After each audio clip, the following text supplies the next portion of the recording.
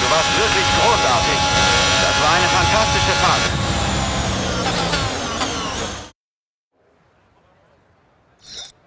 Wir sind alle bereit für das morgige Rennen, aber bevor es losgeht, werfen wir einen kurzen Blick auf die vorderen Plätze der Startaufstellung. Ein Wagen des neuen Teams, Leclerc und Lewis Hamilton. Mit dem Ende des Qualifiers.